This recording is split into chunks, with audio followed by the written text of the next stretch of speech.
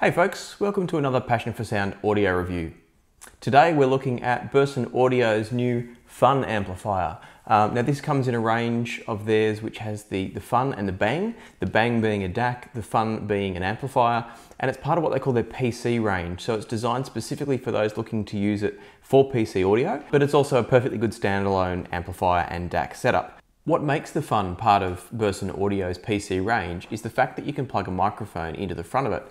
So down here on the front panel, you've got a microphone input. And what that means you can do is you can use high quality audio based headphones for your video conferencing calls and plug in an external microphone that can then be fed directly through to your computer. So it's a really nice way of limiting the clutter and limiting the number of different devices that you need to have in order to enjoy both great sound quality, but also full featured internet communication.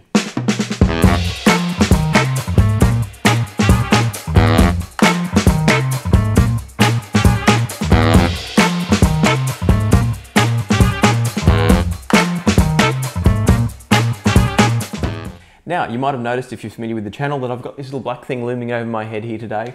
That's my other camera that I'm going to use shortly to take you on a tour through what makes the Fun unique. But let me talk about it a bit first. One of the things that's really different about the Fun is that Burson Audio actually encourage you to open it up. It's one of the first amplifiers I've ever reviewed or even owned that doesn't have a void if removed sticker on any of the screws. Not only that, but Burson Audio actually provides you with a hex key or an Allen key to open up the amplifier and get to the insides. And there's a reason for that. You see, the Fun is entirely designed as an op-amp swapper's dream. Now, what I mean by that, if you haven't watched some of my other reviews about Burson Audio op-amps, is that you can take out the little chip called an op-amp and change it over to tune the sound of the amplifier to your taste. And there are literally hundreds of different op-amps available on the market. Burson Audio themselves make at least three, perhaps four, um, and then there's plenty of others available through general electronics suppliers. To give you an idea, I've got here the op amp from the Burson Audio Fun. Now it uses two of these in its standard form, um, and if you're having trouble seeing it, it's because yes, they actually are really tiny, and that's why I'm going to take you on a tour with a different camera in just a moment. But the idea is that you can swap these stock op amps out and replace them with anything you like, including Burson Audio's own V6 range of op amps. As you can see from this, and these are in their protective casing, these are actually a lot bigger than what I just showed you. And the Fun is designed to allow for that much space to fit these in. Um, these are available separately, but you can also buy them as a package with the Fun and then just swap them out as you see fit and as you wish, depending on what you're listening to. I'll talk a little bit about the sound of these separately later, um, but for now let's have a closer look at the fun itself. So you'll see here on the back of the fun we've got on the left hand side here we've got RCA inputs, we've got the power supply input here and that's for just a standard switch mode power supply and that's the standard sort of power supply you'd see with a lot of electronic devices. So there's a plug in the wall socket that goes to a separate box and then a cable that feeds into the amplifier itself. We've got the, the mains power switch here. Um, I was really worried by the look of this that it was going to be illuminated when it was on, um, but it's not. It looks like an illuminating switch, but it doesn't actually light up and shed any glow on the, on the room around it. Next to that, you've got your microphone output. So this is where the microphone can feed out of here and back into your computer if you're using it for gaming communications or um, video conferencing calls. And finally, and this is one of the things I love about the Fun, it's also got RCA output. So this will work as a fully functioned preamp if you've got powered um, speakers, for instance, and you require something that's going to give you that volume control. Um, and I really do enjoy it. It's actually operating as my main preamplifier in my desktop setup at the moment. If we switch to the front of the amplifier, what you'll see here is that on the front we've got the large style headphone jack, We've also got a microphone input that I've already spoken about, so that feeds through here, out the back of the amplifier and into your computer. We've also got a line in, so if you want to run an auxiliary source, for instance, you can run that through there. And obviously we've got the volume knob as well. Now I've already taken out the Allen head screws from the amplifier, um, but just for reference, there's a pair here at the back and a pair here at the front, um, and you only take off the top layer of screws. There's still um, at each of the corners on the bottom layer, you leave those screws in because the top cover actually comes off to reveal the inside of the amplifier. Now once we're in here, there's very little you actually need to, to touch and, and play with. Um, so there's all the circuitry obviously you can see here, but in reality the only things we're worried about are these two chips just here. And they're the standard JRC5534 op amps. Um, which are a good quality op amp. They're nothing spectacular, but they're okay. Easily enough, you can actually remove those, obviously with the power switched off. You can pull those out and replace them with whatever op amps you want. It's just a very simple eight pin DIN socket there, so just a little chip.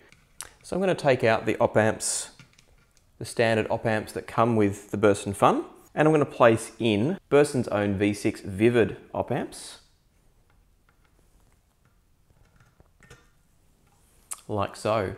Um, and now to give you a better view, if I pick up the amplifier and turn it sideways, you'll see they're quite large and they sit quite tall off the circuit board. But as I said, the amplifier is specifically designed to fit larger op amps. And so that gives you plenty of versatility to put basically anything you can think of into the body of the Fun. Now, when I first got the Fun and I started opening it up and playing with op amps, I suddenly thought, what's gonna happen if something goes wrong? For instance, when you're inserting op amps, there's a very specific way they need to go in and all op amps have some form of marking. In the case of Burson's own, there's a channel down one side and that channel tells you which way the op amp has to go into the socket. So it got me to thinking if Burson are encouraging us to open up their amplifiers and play around with the chips, what happens if you get it wrong? Now I was really pleased when Burson responded and said that essentially the amplifier is designed in such a way that the worst case scenario if you get the chips in the wrong way is you're going to fry the chip itself. What that means is you've got to obviously spend to buy some new chips and there's no warranty cover for that. But the beauty of it is you don't have to worry about cooking the amplifier itself. So that's really good news and it's a great attitude that Burson are taking where they're going to fully cover the circuitry of the fun, assuming you haven't messed with the individual components other than the op amps. It means that you're covered to really play and enjoy fiddling with the tuning of your amplifier and trying all different op amps. I've rolled through about five or six different op amps that I've, I've got in my collection, and I have to say that all of them have worked perfectly. I haven't had a single pop or crackle or hiss. Um, the, the fun just seems to adapt beautifully to whatever the voltage and current requirements are for each op amp. So with all this talk about being able to tune the amplifier and change its sound and, and play with the op amps, let's talk a bit about the actual sound quality of the amp itself. Um, and I'll mention it in relation to a number of different chips, but specifically the overall tonality of the amplifier does actually come through a little bit. You can obviously tweak it with the chips that you put in there, but it's got its own starting point sound.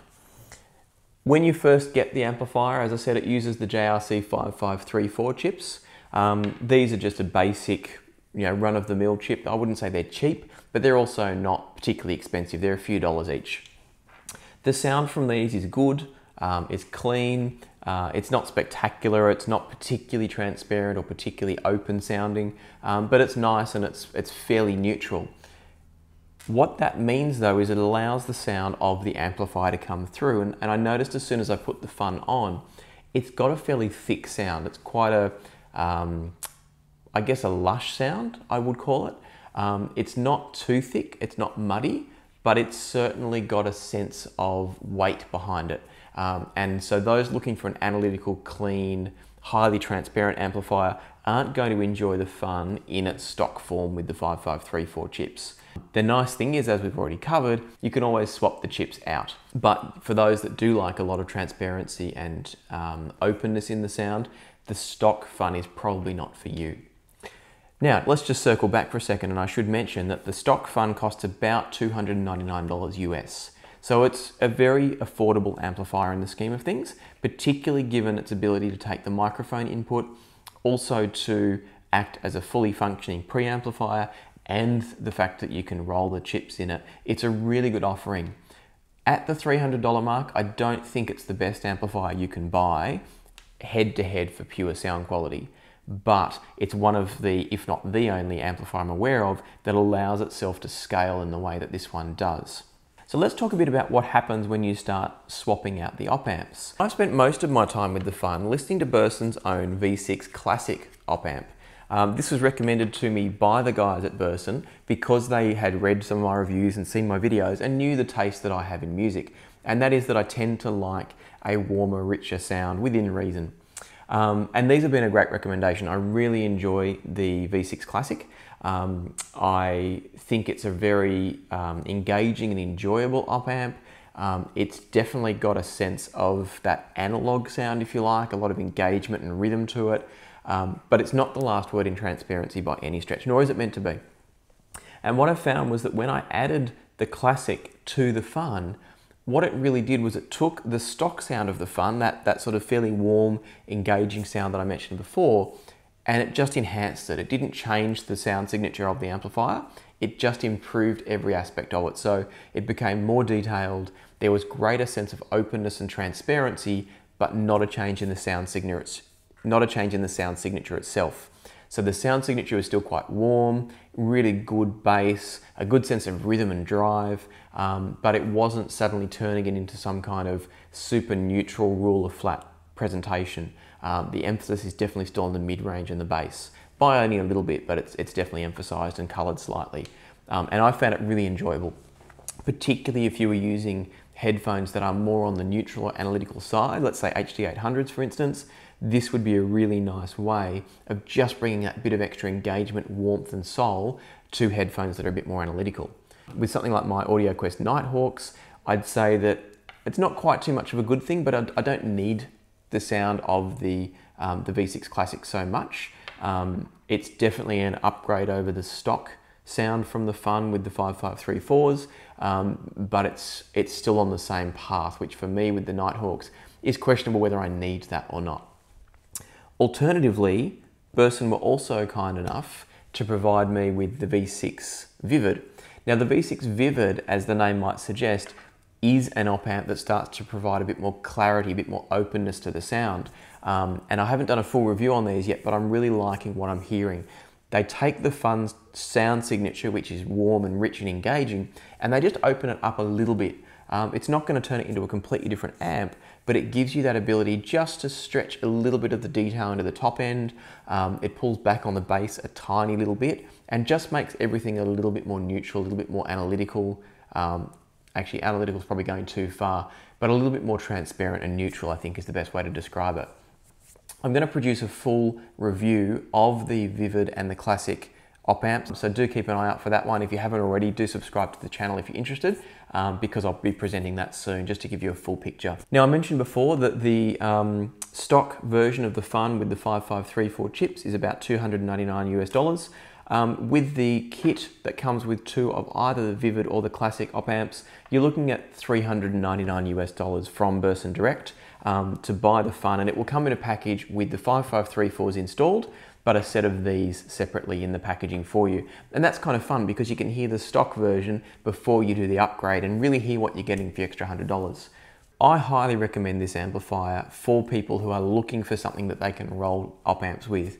If you want to buy something that's set and forget, I probably wouldn't think about this in its stock $300 form. So if you're not someone that's comfortable buying other op amps or perhaps spending the initial $100 up front to get Burson's own op amps in the package, I don't think this is a worthwhile investment for $299. There's other amps out there that I think are probably on par or better for the same money.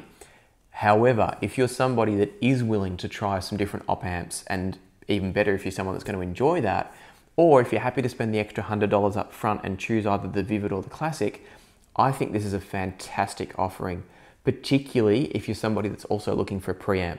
If you found this video helpful, please hit the like button and uh, do subscribe to the channel. I've got plenty of great reviews coming, including an exciting new release from Massdrop Audio. As always, thanks for watching, happy listening, and we'll see you next time here on Passion for Sound.